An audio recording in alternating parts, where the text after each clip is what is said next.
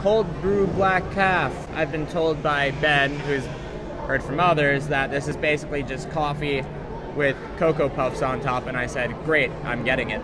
So here we go. Yeah. Yeah. Black coffee with cocoa. And I'm so happy about it.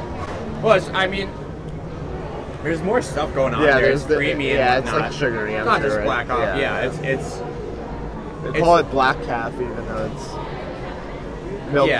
caf. yeah. Prem. Strong. It's strong coffee. Oh yeah?